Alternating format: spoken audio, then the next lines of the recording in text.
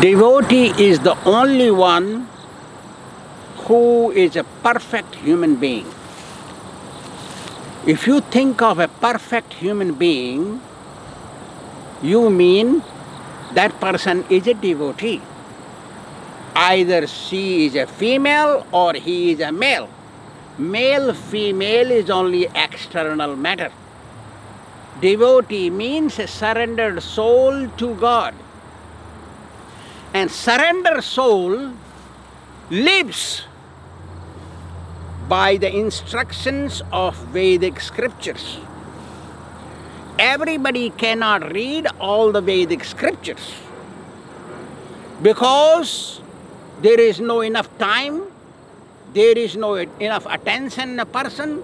Modern days, everybody keeps busy materially.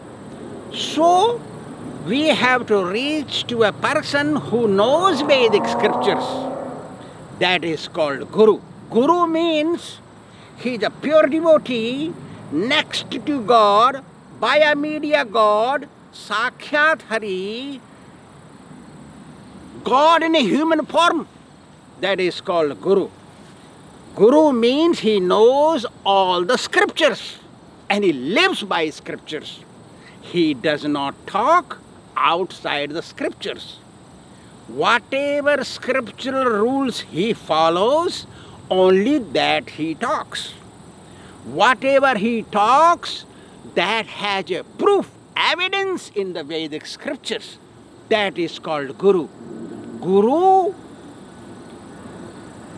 is a spontaneous devotee. That means he don't need to follow any rules. But without following rules, you cannot live in this world to serve God. You must follow rules. Those devotees who don't follow rules of Vedic scriptures, those devotees who misinterpret the Vedic scriptures, those devotees who think they have gone beyond Vedic scriptures, those devotees who still live in the material body, in the material world, don't follow scriptures. They must follow scriptures.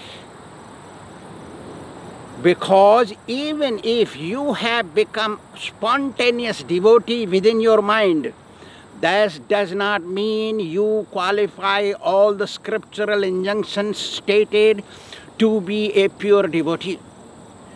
Like a lactometer, you put in the milk, it will tell how much water this milk has, how much butter is in the milk, butter fat. The lactometer, the scriptures are lactometers of pure devotees. One who claims to be a pure devotee, that person must fit in the shoes of scriptures, in the mold of scriptures. Must. Then, one day, Lord Chaitanya was sitting and a Swami Mayavadi came to him.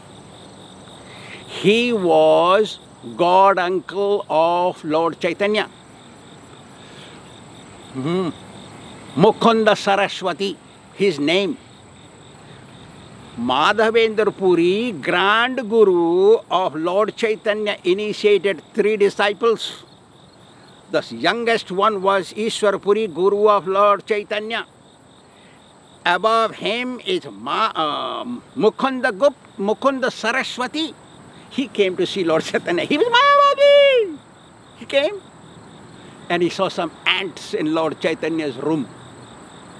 So immediately he speculated he must be eating sweets. Why? There are ants in sannyasi's room? He must have eaten sweets. Oh, oh, he's a sweet eater. Oh, I heard he eats a lot.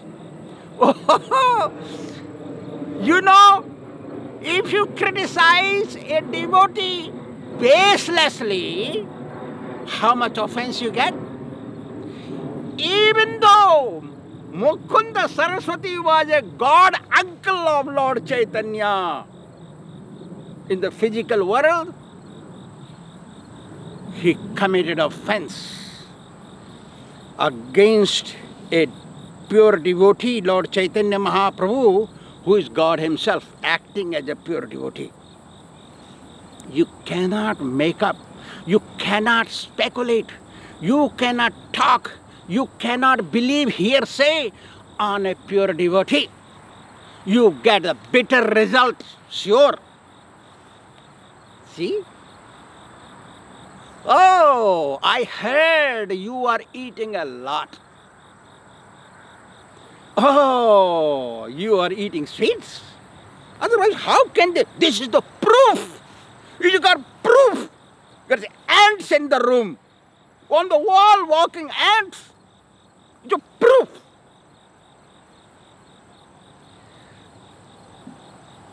Does it mean anybody who eats sweets, their room has ants?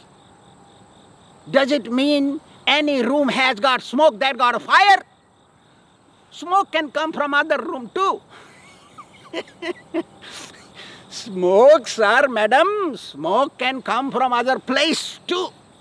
Where there is no fire, smoke can also be available.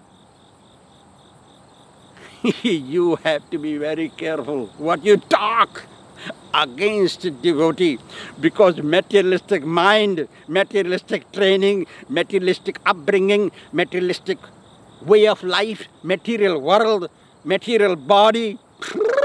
My goodness, how careful you have to be when you deal with a pure devotee. Devotee never misinterprets Vedic scriptures. Say, for example, first offense says don't criticize devotees who are dedicated their life to spread Krishna consciousness. What is criticism means? Criticism means your words must be based on scriptures. I say you are a lame devotee. Even though you are a sannyasi, you are limping. You cannot be guru. If I say that, that has got Vedic, Vedic evidence. That is Vedic evidence. You say Krishna Swami is criticizing devotees? If I say you are eating in the aeroplane, food from the aeroplane, sir, madam, is not good for a guru. Is this a criticism? Or this is an, a spiritual advice for spiritual upliftment? We have to be careful whom we are following, whom we are believing. Our position will be like Mukunda Saraswati who criticized Lord Chaitanya for having ants, few ants in his room, just few ants.